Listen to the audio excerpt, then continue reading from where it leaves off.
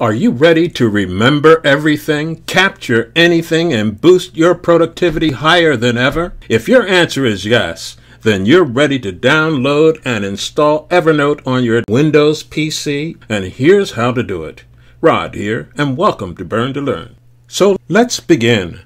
First, open your web browser and go to evernote.com. Sign up for a new account. Our recommendation is to synchronize Evernote with your Google account in order to access your information whenever you sign in. Evernote will send you a confirmation email. Now find the download button, click on it to start downloading Evernote onto your desktop. Be sure to get Evernote for Windows. Click the Open button and it will start to install.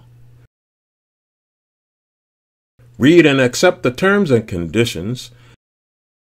Then click on Install and then click on Finish. To access your account, all you need to do is open the Evernote app and sign in with your email address and password.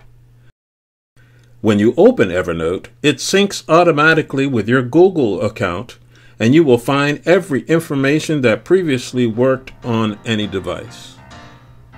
Now you're ready to use Evernote to organize your ideas, activities, and boost your productivity while you run your business, work on your job, or attend school.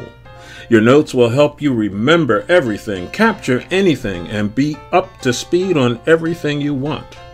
Don't forget to like this video and subscribe to our channel. Thanks for watching.